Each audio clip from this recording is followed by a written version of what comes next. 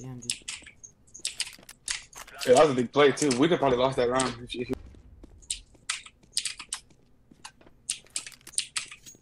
They had momentum.